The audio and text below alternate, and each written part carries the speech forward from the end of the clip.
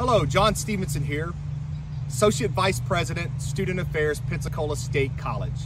I come to you all this morning from the Pensacola campus with some exciting news about priority registration. Priority registration will take place for all current students beginning Monday, October the 17th, and will run through October the 31st. Monday through Thursdays, we will be registering students from 8 a.m. to 6 p.m. and on Fridays from 8 a.m. to 12 p.m. On the Pensacola campus, we will be in Building 21. On the Warrington, Milton, and South Santa Rosa campuses, we will be in the Student Affairs area. Now you may ask, why am I holding two iPads? Well, that's a good question.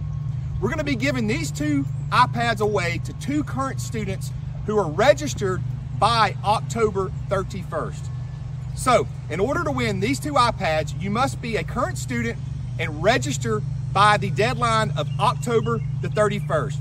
Please like and share these videos as well as we're promoting priority registration for current students at Pensacola State College. Go Pirates!